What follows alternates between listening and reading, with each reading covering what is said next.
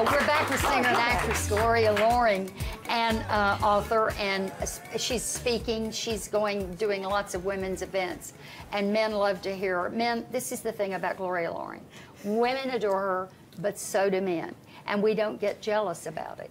That's the quality you have. Well, I think We're not- everywhere you- I go, everybody's a friend. I, I feel like I, because of this coincidence thing now, and because of uh, 25 years of meditation and all of all of those good things that I've gotten um, more in, attuned with myself, I feel comfortable. I feel like I'm home everywhere I go, and I never know when somebody's going to reflect back to me something wonderful. So I'm always on an adventure. Let me see these eyes. Let me see who this person is. You know, you talk about starting meditation, and I'm a 32 year old woman trying to kind of come into my own with, like, you know, self confidence and kind of finally coming into that space that I'm feeling comfortable as a woman. When did, what age did you start to feel that way? Like, really confident, like, this is the woman I'm going to be for the rest of my life, take it or leave it, and everyone will be a friend, and you're Oh, either I- with me or you're against me. I still don't know that. I'm still working on, you know, I'm still It- working on being the woman I'm going to be for the rest of my Yeah. life. And I might figure that out one minute before I leave the planet. But, but I, I think that, that one of the things that really helped me was was healing stuff from the childhood. See, my both my, my parents, uh, not both my parents, my one father, my only one father,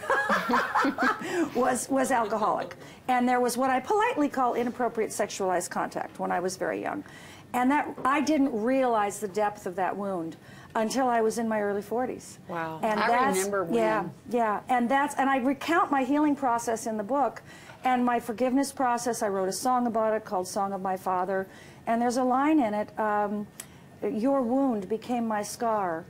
You know, he lost his mother when he was very young and he became an alcoholic, and both his brothers did. How can I blame him for what happened when he was drunk out of his mind and not in touch with his true self?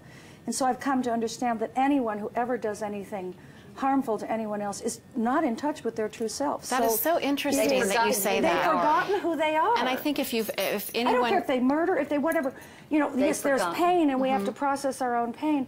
But ultimately, they didn't know. They weren't in touch with their trueness, with Yeah. their true heart. You know. Yeah.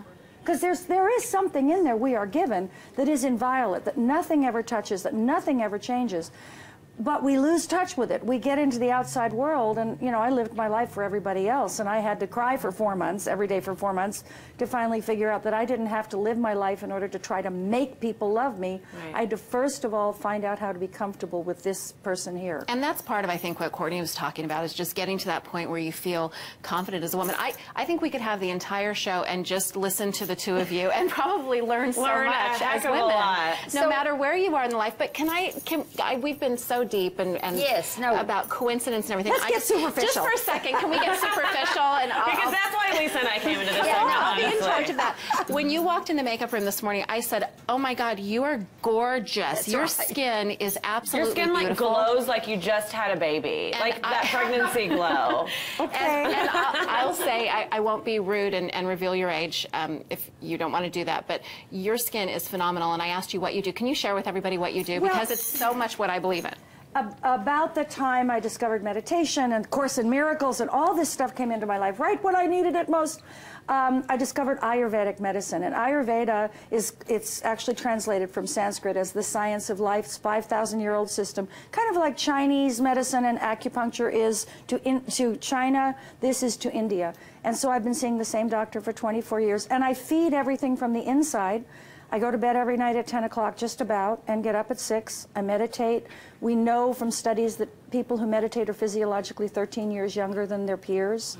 Because what we're doing is reducing cortisol because we're practicing peace. And when you're in peace, DHEA, which is the anti aging hormone, is produced more. When you're in stress, then you're producing cortisol. Which is why people that are stressed out look like 10 years older Yes. than they really it, are. it takes a toll. It takes a huge toll when we have stresses in our lives. The So- cortisol, it's also what causes the fat around the middle and It does all all, sorts of kinds things. of unfortunate things. And what happens is sometimes we ramp ourselves up to the point where we don't realize. We, um, it's like our thermostat gets set really high for cortisol, and we don't realize that we're rushing and not breathing. And, and being a certified yoga instructor, of course, I did the breathing and you know all, all of that. So I, all of that stuff. So, what do you eat? Do you eat normally? Like, you know, do you eat beef and Do all you that? eat junior No. cheeseburgers from Whataburger? No, I don't eat beef. no. Oh, I heard Suzie. about Whataburger. I heard about Whataburger. No, ma- maybe once a year I have Yeah. beef. I, chicken and turkey, a little fish, but a lot of vegetables. and supplements, herb